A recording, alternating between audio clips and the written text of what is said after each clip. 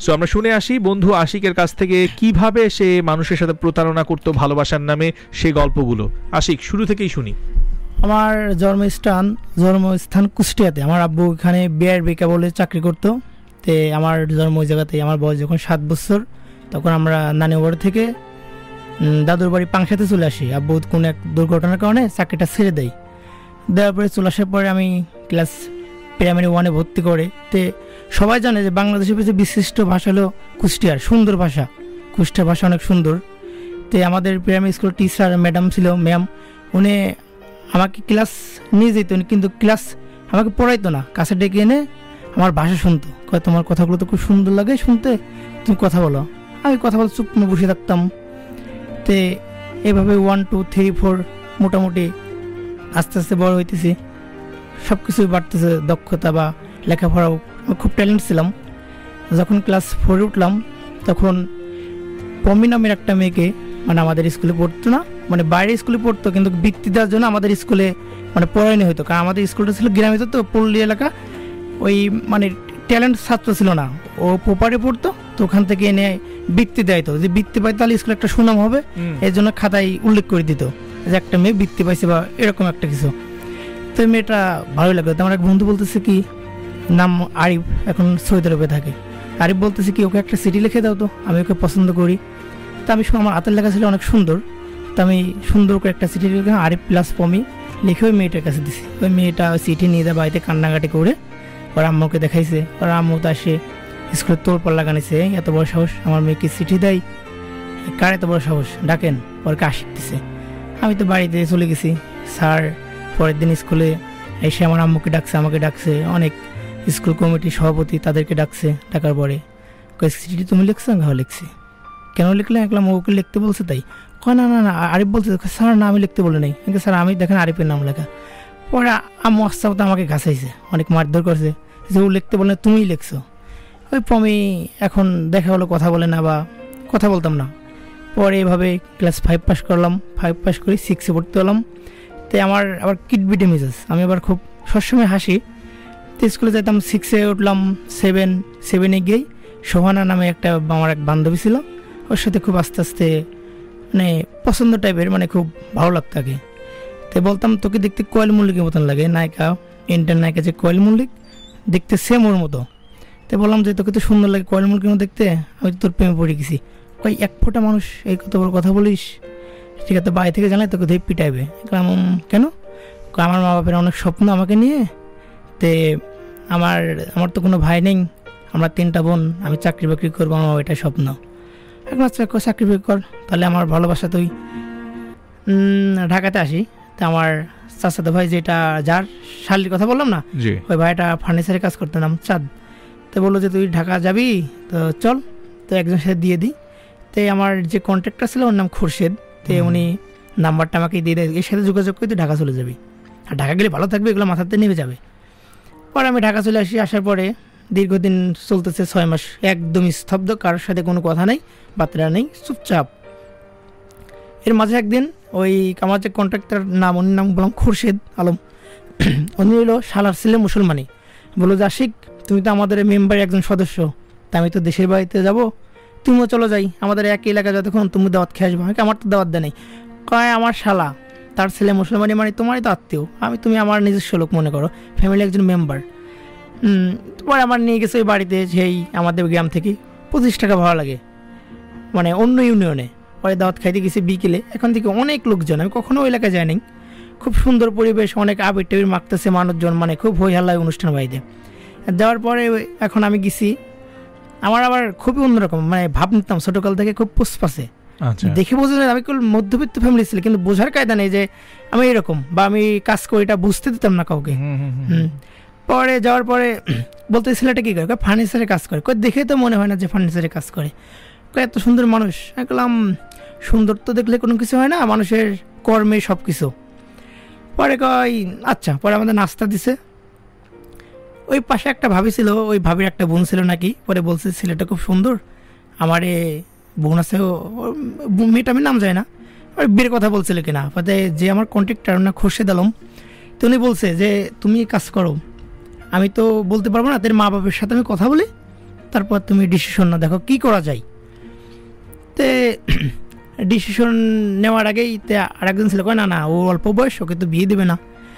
এভাবে চলতেছে যে ভাবিটার বোনের সাথে আমি বিয়ে দেওয়ার কথা বলছিল যে বিয়ে দিই, ওই ভাবিটা আমাকে বাড়িতে ডেকে নিয়ে যায়, খাইতে দেয়, এটা করে, ওইটা করে, অনুষ্ঠান বাড়িতে দুই দিন ছিলাম। আমাকে খুব আপ্যায়ন করছে, এমন আপ্যায়ন মানে যে বাড়িতে কিছু ওই বাড়ি কোনো খোঁজ নাই, পাড়া প্রতিবেশী হিসাবে অনেক আপ্যায়ন করছে। রাত্রে এবারে থাকছে এবারে খাইছে এবারে মাংস নিয়ে ওই বাড়ি থেকে আমাকে খাওয়াইছে, খুব আদর করতেছে। কিন্তু আমি তো জানি না এগুলা। তো আমাকে বলতো মানে বুঝতেও দেয়নি তো অনুষ্ঠানের দিন যে আমার কন্ট্রাক্টের কথা বললাম, উনিরা উনিরা চার ভাই চার ভাই তিন ভাইয়েরই মেয়ে আছে। আর যে আমার কন্ট্রাক্টর ছিল উনি ছোট, তো উনি সেজ ভাইয়ের মেয়ে, নাম হলো মর্জিনা। এত সুন্দর দেখতে মাশাল্লাহ তিনটা মেয়ে, দুইটা মেয়ে ছিল কালো। ওরা তিনটা চাচাতো বোন, দুইটা ছিল কালো, একটা ছিল সুন্দর। তিনটা মেয়ে আসছে এখন আমি তো চিনি না বা পরিচয় নাই বা ওদের বাড়িতে আমার কি নিয়ে জানাই কন্ট্রাক্টের বাড়িতে। যেহেতু এক একলা মানে এক লেখায় তারপর আমাকে কখনো যাওয়া হয়নি। পরে নিয়ে গেছে আর ওই মেয়েরা তিনটা, সে বলতেছে কি, কই সে আশিক কয় হ। পরে একটা বলতেছে কয় আই লাভ ইউ একদম, কাকে বললেন কা আপনাকে হ্যাঁ আমাকে আই লাভ ইউ আপনাকে আমাকে চিনেন? কা আপনি আশিক? হ্যাঁ কা আপনাকে আই লাভ ইউ আমি আসতেছি আশ্চর্য বিষয় না যায় না হঠাৎ করে বলছে, আপনি কি আশিক আই লাভ ইউ কারণটা কি? নিশ্চয়ই কোনো একটা কলকাঠে আছে।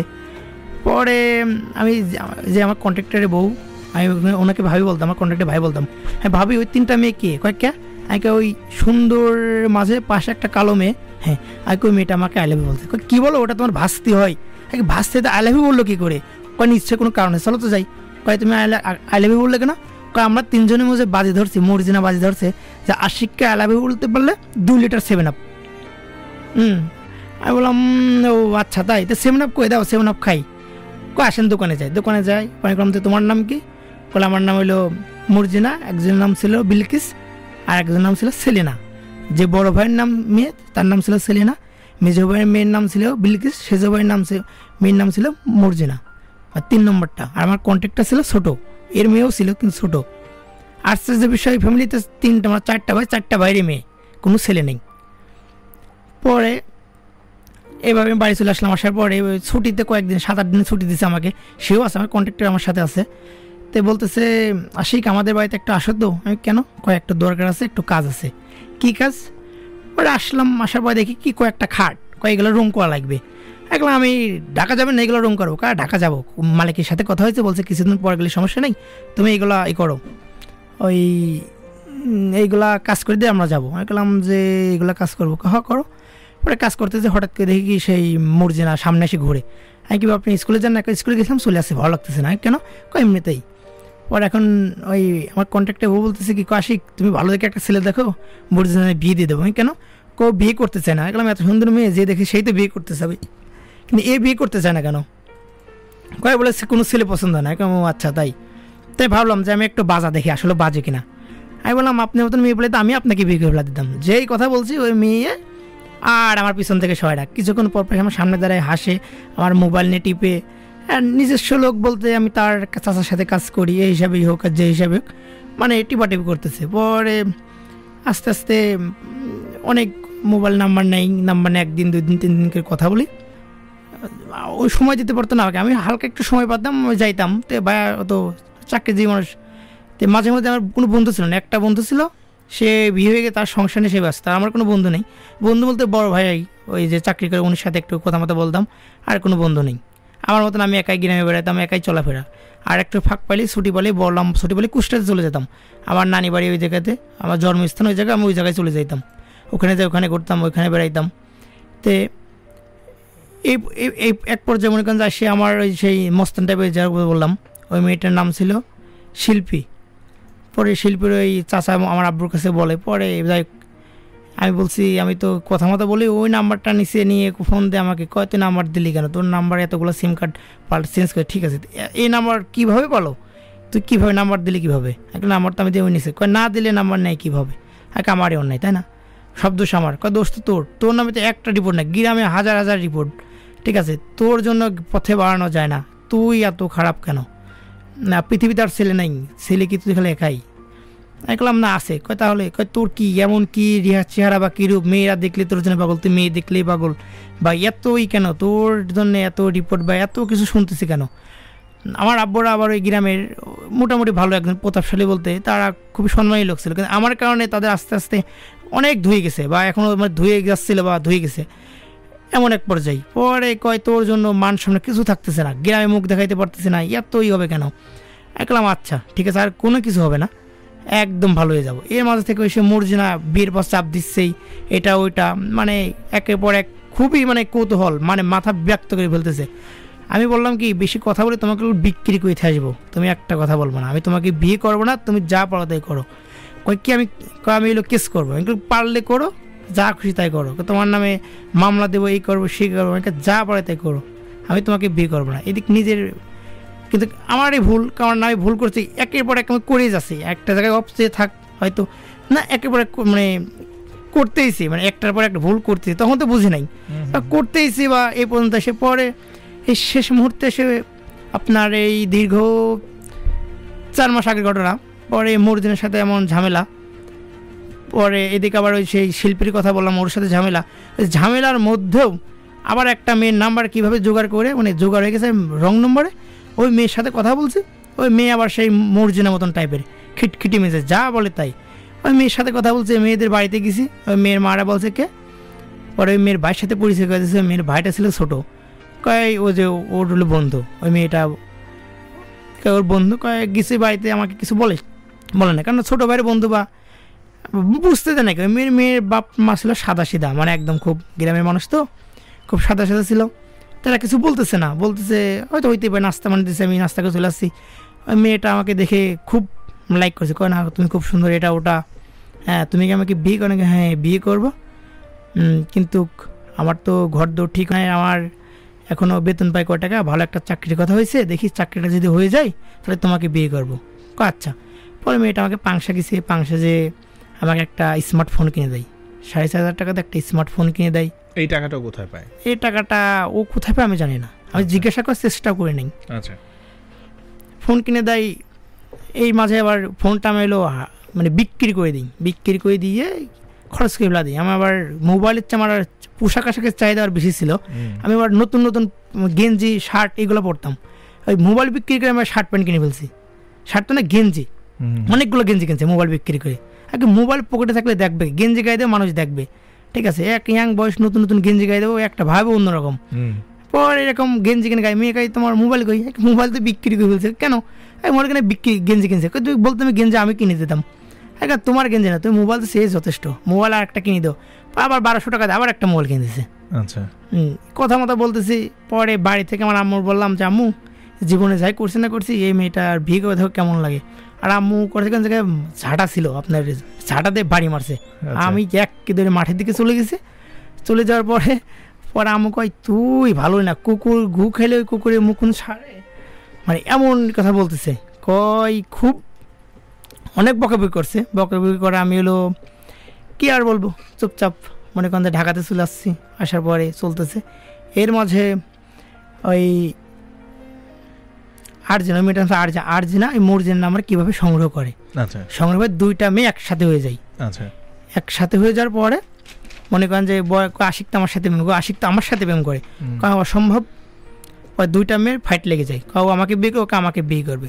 আমি কই তোর দুজনে কাউকে বিয়ে করব না। যে কইছে কাউকে বিয়ে করব না এর মাঝে দুইটা মেয়ে তার ফ্যামিলি নিয়ে আমাদের বাড়ি পাড়ে চলে যায়। আচ্ছা। চলে যাওয়ার পরে আমি ব্যাগটা গোছানে ঢাকাতে পোলা চলে আসি তিন মাস আগের ঘটনা। ঢাকাতে পোলা চলে আসি এবং গ্রামের লোকজন সব একজোটে মনে করেন যে আমাকে খুঁজে মারার জন্য খুঁজে। খোঁজার পরে আমাকে পান আমি ঢাকাতে পোলা চলে আসি। কিন্তু এখন এমন একটা পর্যায়ে আছি, মনে করেন যে আমার বাড়ির ফ্যামিলির লোকজন কারোর সাথে যোগাযোগ নেই এবং গ্রামে কারোর সাথে না, বাড়িতে ঢুকতে পারতেছি না। কিন্তু মানে লজ্জাজনক কি, আমি কি ভুল করছি বা কি করছি জীবনে? মানে আর বলার মতো নেই। মানুষ এত খারাপ হইতে পারে, আমার দায় বুঝি যে আমি এত খারাপ, আমার মতন ছেলে এত খারাপ কাজ করেছে আমি এত খারাপ হয়ে গেছিলাম। বা এত খারাপ কাজ করছি। এখন নিজের কাছেই লজ্জাজনক বিষয় যে কী দিয়ে কী করছি আমি। এটা তো আমার দ্বারা এটা হওয়ার কথা ছিল না। ওকে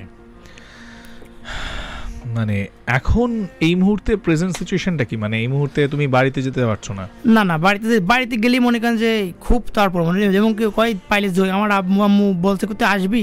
আগে না বাড়িতে যাব না। যতদিন মানুষের এই কলঙ্কের দাগ তো কখনো যাবে না। সারা জীবন মরার আগ পর্যন্ত থাকবে এবং আমি যদি কখনো বিয়ে করি আর পোলাপানের উপর মনে প্রভাব ফেলবে মানুষজন। এত গ্রামের লোক সমাজ এত বিরক্ত হয়ে গেছে আপনার উপরে। হ্যাঁ এত বিরক্ত। তো আপনি আমাকে একটু বলেন তো মানে আপনি তো শর্টে আজকে অনেক কিছু বলেছেন আমি এখন কিছু প্রশ্ন আপনার কাছে বলি। আপনি এই পর্যন্ত কটা মেয়ের সাথে সম্পর্ক গড়িয়েছেন? যে প্রেমের বা ভালোবাসার কথা বলেছেন। এটা তো আপনার আমি তো সংক্ষেপে বলছি এটা তো তাও তো পাঁচ ছয়টা তো বললামই। কিন্তু হ্যাঁ। এর মাঝে রং নম্বরে আরও আপনার সাত দিন পাঁচ দিন দশ দিন পনেরো দিন এক মাস এটা অনেক। এরকম কতজন হবে? এটা তাতে আপনার পঁচিশ তিরিশ জনের বেশি। 25 এভারেজ 30টা মেয়ের- পঁয়ত্রিশ হ্যাঁ। মেয়েটার সাথে আপনি প্রেমের কথা বলেছেন। হ্যাঁ। আর শারীরিক সম্পর্ক করেছেন কতজনের সাথে এই ভালোবাসার কথা বলে?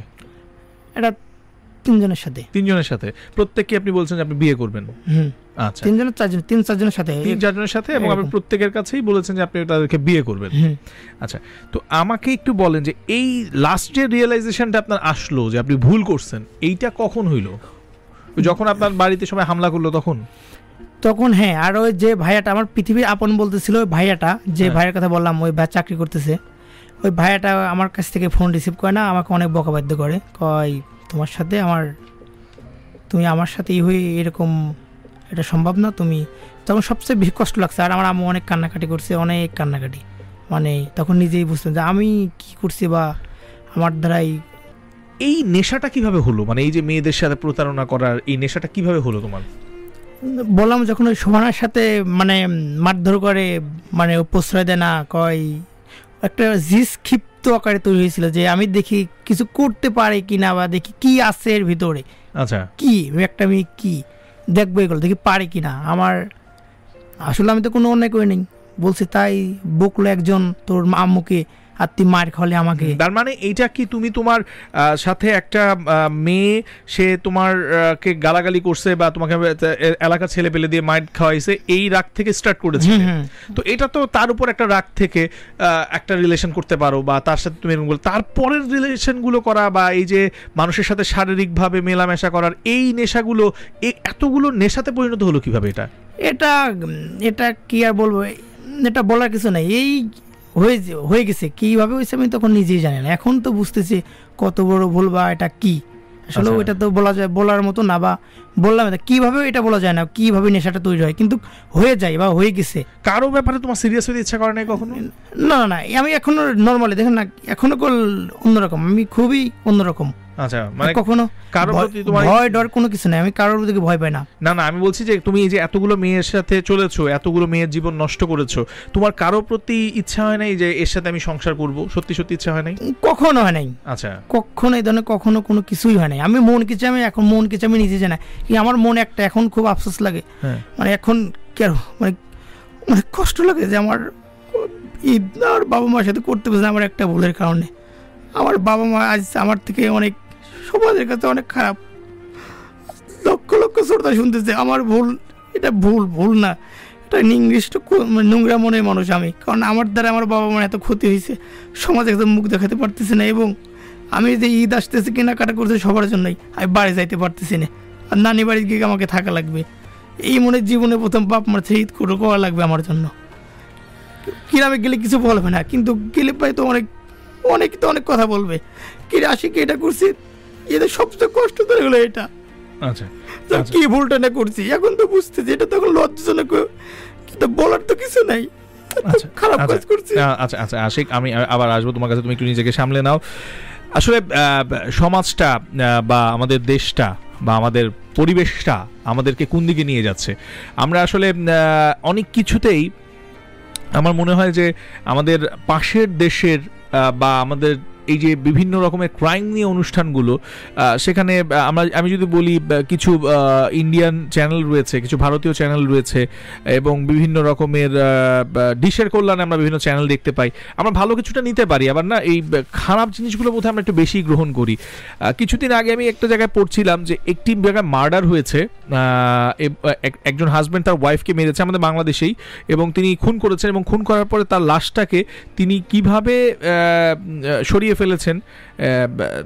সেই পুরো বিবৃতিটা তিনি যখন ধরা পড়েছেন দিয়েছেন এবং তিনি বলেছেন যে এই- ব্যাপারটা পুরোটা ইন্সপায়ার্ড হয়েছেন তিনি একটি চ্যানেলের যে আপনার ক্রাইমের অনুষ্ঠান হয়, সেই ক্রাইমে যেভাবে দেখানো হয় যে স্ত্রীকে হত্যা করার পরে সেই স্বামীটি যেভাবে করে লাশটিকে সরিয়ে ফেলেছিল, যেই পদ্ধতিতে খুন করেছিল, অবিকল সেই পদ্ধতিতে একজন আমাদের দেশেরই একজন নাগরিক তিনি খুন করেছেন তার স্ত্রীকে এবং তিনি এটা পুলিশের কাছে ধরা পড়ার পরে পড়েছেন আমি এমনই একটি খবর কিছুদিন আগে একটি পত্রিকায় পড়েছিলাম। তো তখনও আমার মনে হয়েছে যে আমরা আসলে মানুষ, আমরা ভালোটাও তো অনেক কিছু দেখায়। মানে আমি যদি খালি পার্শ্ববর্তী দেশের কথা বলি, ভারতের চ্যানেল কি সবসময় খারাপটাই দেখায়? ভালো জিনিসগুলোও তো দেখাচ্ছে। তো আমরা কি ভালোটা গ্রহণ করতে পারি না? এটা আসলে আমাদের বিবেককে প্রশ্ন করতে হবে, এটা আমাদের নিজেদেরকে প্রশ্ন করতে হবে। আজকে যে আশিক রয়েছে, এটা একটা আশিক। এরকম অনেক আশিক রয়েছে আমাদের আশেপাশে। সো আপনার আমার ভেতরেই কিন্তু একটা ভালো মানুষ আছে, একটা খারাপ মানুষ রয়েছে। এখন আমাদের ওই ভালো মানুষটাকে আসলে আমরা বাড়িয়ে তুলবো না, আমাদের খারাপ ভেতরের যে এই আরেকটা সত্তা রয়েছে সেটাকে জাগ্রত করব, সেটা কিন্তু আপনার আমাকে ডিসিশন নিতে হবে। সো আমি যদি বলি যে অনেক কিছুর প্রভাব আমাদের উপরে পড়ছে, আমরা এগুলো কোথা থেকে শিখেছি? এই যে একটা ছেলে, সে একের পর একের মেয়ের সাথে প্রতারণা কর- করেছে এবং প্রত্যেকটা জায়গায় একটা অস্ত্রকেই ব্যবহার করেছে, সেটি হচ্ছে ভালোবাসা। আর ওই ভালোবাসা শব্দটি ছিল বলেই আজকে লাভ স্টোরিতে সে আছে, যে আমি দেখাতে চেয়েছি যে ভালোবাসার গল্পগুলো সবসময় কিন্তু খুব সুন্দর হয় না। রোমিও জুলিয়েটের গল্প কিন্তু সবসময় না। হ্যাঁ সব গল্পেই কিন্তু বৃষ্টির ফোঁটায় গায়ে গায়ে শিহরণ তোলে না। কিছু কিছু জায়গায় এই ধরনের লোমহর্ষক ঘটনাও কিন্তু আসে।